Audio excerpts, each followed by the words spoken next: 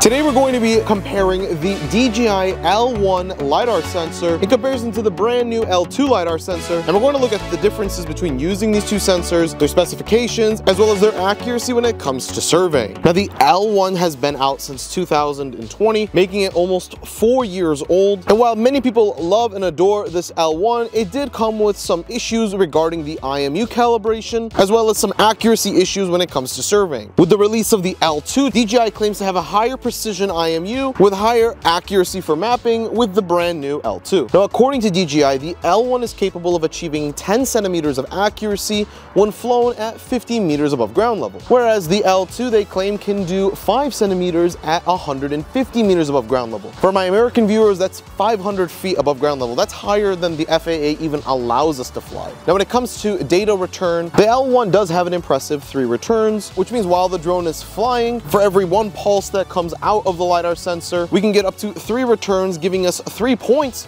for every point that is emitted. And this is really good for areas that are really forested because your points are not gonna get stuck at the top of the trees. You're actually going to be able to capture points on the terrain beneath all of those trees. Now, while three returns is great, the L2 can actually do five returns. Five returns means you're getting even more data on the ground, penetrating all the little spaces between the branches and ensuring that you're getting the most amount of data on the terrain. The L2 is capable of capturing 1.2 million points per second thanks to the increased size of the Livox LiDAR sensor in comparison to the 480,000 points that the L1 was capable of achieving. Earlier this year, I made a video where I used my electric scooter to survey this entire street. And so today I'm going to be using the DJI M350 along with the L1 and the L2 to survey the same street and compare those accuracies to our 43 checkpoints. So I'm gonna start by attaching the L1 LiDAR sensor.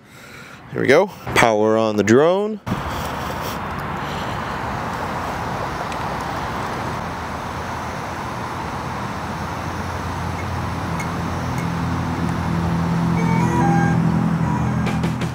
Now something I did forget to mention is that when you turn on your M300 or 350 with the L1 attached, the IMU needs a warm-up period. This typically takes two to three minutes, but the drone cannot move. Everything must stay static for the IMU to warm up and begin its initialization before we start to fly and it calibrates itself in the air. It's not a huge deal, just something you need to remember to do. All right, so I got the M300 controller here, and this right here is the street that I want to map. So I'm just going to create a new job and just specify what part I want to map. Okay, that looks good to me. I'll say okay. So to identify the drone, the L1, I am going to be doing LiDAR mapping. For payload settings, here are the returns. There are single, dual, and triple. I'm gonna do a triple return just to maximize the amount of returns we can get with the L1. The maximum sampling rate is 160 kilohertz, so we'll just stick to that. We'll have repetitive scanning and RGB coloring for our point cloud. I'll go back. I'll say okay. Payload IMU warmed up. Okay, so our IMU has just warmed up. I'm gonna do a flying height of about 70 feet above ground level, and it looks like our speed, the max speed that we can do is 5.6 miles per hour. Everything else looks fine. Our RTK is connected and we are getting corrections through Ntrip. So yeah, everything looks good to me. I'll go ahead and save, and I'm gonna go ahead and say next, upload our mission, and we'll start flying.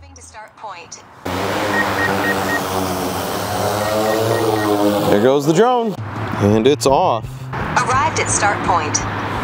Starting task. So while the drone is flying, it's going to start by doing its calibration. So yeah, it's just flying back and forth to calibrate the IMU. And here we go, it looks like we're collecting data. Let's see. Oh, and there's the LiDAR point cloud coming in. Looks like intensity mode. You could do a side-by-side -side to see the data it's collecting along with what the camera sensor sees. Okay, looks like we are approaching another calibration point. So it's gonna go back and forth.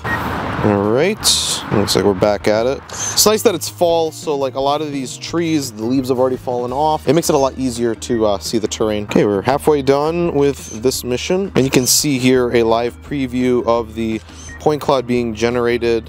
That looks very, very nice. I'm not sure how to change this to RGB. I don't want to mess with it too much, but it's pretty cool. You can see the drone in progress as it's flying and generating that point cloud. Looks like we're doing another, yep, another quick calibration mid-flight. You can kind of see it. I don't know if you can see it from here, but there's the M350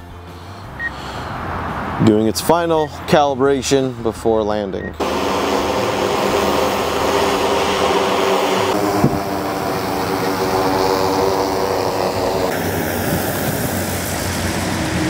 Welcome home L1. Now let's test the DJI L2 LiDAR sensor. Okay, I'm going to swap out this L1 and we'll pop in this new L2. And let's turn on the drone.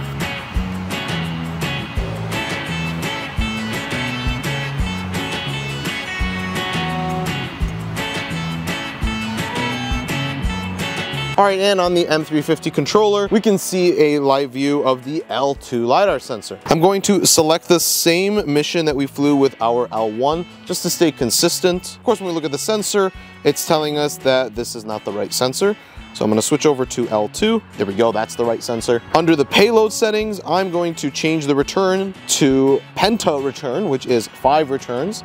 And the sampling rate here is actually 240 kilohertz in comparison to the L1, which was 160 kilohertz. Everything else I'm gonna keep the same. We'll go back, we have LiDAR mapping selected, and we'll stay consistent here roughly 70 feet above ground level. Now with the L2, we have the option to actually increase the speed up to 15 miles an hour, but DJI says that we are capable of capturing more data at a faster rate without compromising accuracy. Perhaps in the future we can test it, but I wanna try to stay pretty consistent here with the data that we collect. Everything else is good, so I'll go back, and unlike the L1, we did not have to warm up the IMU. It's all set to go, and we can upload the mission and start flying. Okay, everything looks good here. We'll say next, upload flight mission, and we can start flying. Moving to start point.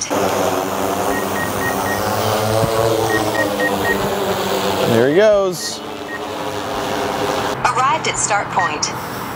Starting task. Shoots it right down. And just like before, we're going to do the IMU calibration. So it's gonna fly back and forth to ensure everything comes in accurately. Now with the L2, we have actually an upgraded 20 megapixel camera with a mechanical shutter. So we should be getting much cleaner images that we can actually use for photogrammetry if we wanted to. Here we go, the data is now being collected. Oh, I just figured out how to change it. So that shows us what elevations. Yeah, so this is a different visualization. I was trying to figure out how to do this with the L1 and I wasn't able to. I don't know, maybe I wasn't able to at all. This is something with the L2. I can also switch it to returns Looks like here I can see how many returns I'm getting on each point. I'm not quite sure what this visualization is, but do a little side by side. You can see camera and LiDAR sensor together. Very nice. We've hit our next calibration point. Yep. I, I love the fact that I don't have to sit here and calibrate this every time. I remember using LiDAR on a drone back in like 2019 and we had to do like figure eights and all sorts of crazy stuff to get the IMU to work and stop in the middle of the flight. It was a mess. It was just, this is so much cleaner. Like Great job. I love this, DJI. While the drone is flying, I want to tell you guys about GeoWeek 2024, happening in Denver, Colorado on February 11th through the 13th. GeoWeek is one of the largest geospatial conferences in America, showcasing technologies for industries like surveying and mapping, reality capture, robotics, artificial intelligence and machine learning, and so much more. This week is your last chance to get a discount on the early bird special, as well as using promo code RAMI100 to receive receive $100 off of your conference pass. If you're a student, you can use code RAMI100 to receive 50% off of your conference pass, as well as a free exhibit hall pass to any of the attendees. Check out the link in the description, and I will see all of you at GeoWeek 2024. Looks like we are starting our second flight line. Let's take a look at that 3D model like we did with the L1. Oh man, this is so cool. Yeah, very nice. You can see all the places that, you know, our overlap wasn't getting. Our second fly through is getting now, so very good there. And I can change the, oh, this is the altitude mode, reflectivity mode. Very good, very, very good. This is looking good. We're nearing the end. Looks like we're still maintaining our RTK. Yeah, 42 satellites. Very nice. I love that. Okay, and we're gonna do our final calibration. Return to home. There we go. Mission complete.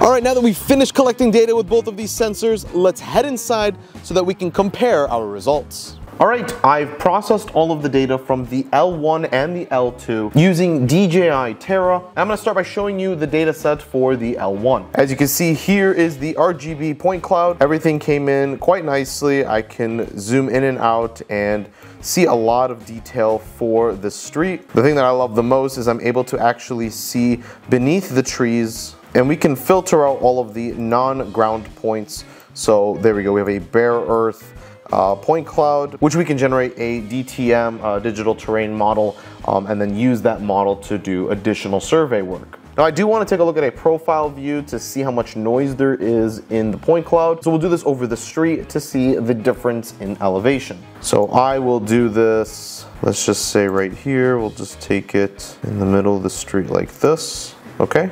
And here is a profile of the road. And if I take a look at the noise that we get from the point cloud on the L1, the lower elevation here is at 604.17 feet and a higher elevation is at 614.35. So we're looking at about two tenths of noise in this particular cross section. If I go towards the beginning of the site and we zoom into the road, on a low point, we got 605.55, on a high point, 605.64, so about one tenth. So with the L1, I'm seeing about one to two tenths right now. We'll do one more sample on the end of the road here, right before the turn.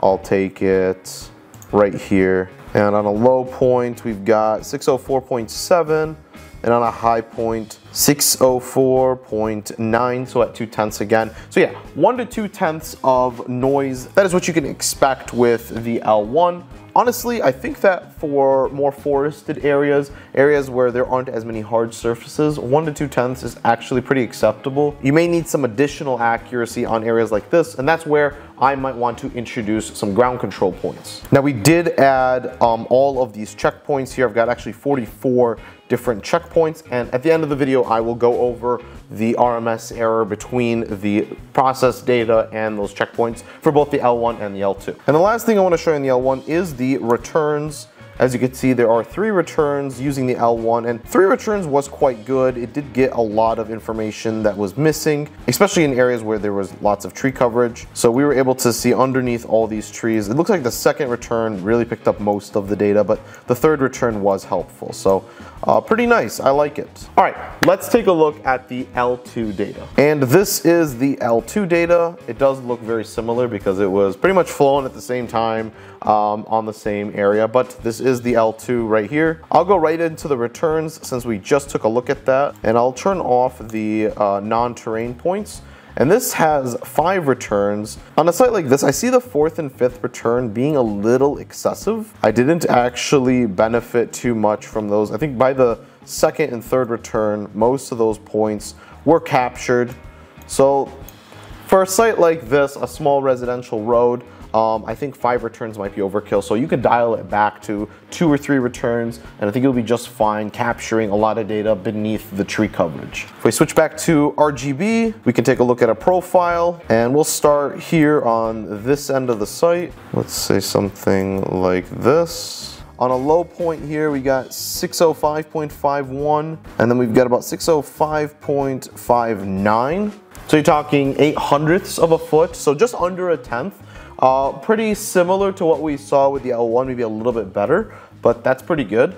In the middle of the site, I would say on the low end we've got 604.50 and on the high end we've got 604.63 so we're at 13 hundredths about a tenth and a half that's not bad that's pretty good one last check here on this end of the site and on a low end 604.66 and 604.77. So about a tenth again. So it looks like it's closer to a tenth rather than two tenths. So I do see slight improvement with the noise that we get out of the L2 versus the L1, which makes sense because the Livox sensor is improved and we can see that affects the data and gives us less noise um, on our surfaces. And just like the L1, I've got the 44 checkpoints here. And so I'm gonna show you the quality report of both of these uh, data sets to see how accurate the point cloud is in the vertical axis. So this right here is the L1 data set. and we can see that because it says that the payload is the Zenmuse L1. So it goes through all the different calibration parameters, uh, but really what I'm most interested in is the point cloud checkpoint error. Now, none of these points were actually influencing the data set, they were just merely used to validate how accurate everything was by taking the differences between the coordinates that we observed with the GNSS receiver and what was taken from the point cloud. And overall, the root mean square error is about one tenth of a foot. There is a uh, bug inside of DJI Terra where all of the units are just meters, but I assure you these are feet, not meters. So yeah, no confusion here. This is not uh, 10 centimeters off. It is one tenth of a foot off, which is about three centimeters. And I can go through all of the individual points. Some of them are right on, and some of them are a little bit more than a tenth, but overall the RMS error did come back at one tenth. Now I'm going to load up the L2 and I think the results will shock you. This is the L2 mission and as you can see DJI Zenmuse L2 and if we take a look at the RMS error here you see we have again about one tenth. And so what I can conclude is that this is one experiment that I did. It was small, there was not a lot of terrain coverage, the surface was pretty flat, and well, I guess the L1 and the L2 are pretty comparable on a site like this. We definitely need to do more testing on more complicated terrain, but this was a good initial test to put both sensors head to head. If you'd like to see an example of a more rugged terrain, a project that I worked on where I actually used the L2 and pushed it to its limits, flying hundreds of acres of land, then you're gonna wanna check out this video right here. Thank you everybody for watching, and make sure you subscribe to the YouTube channel, and I will see you all next time.